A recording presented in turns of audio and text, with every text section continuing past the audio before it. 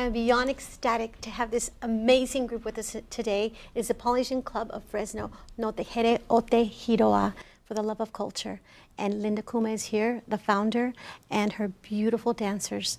And we are ready to bring you love and joy from the islands. Aloha.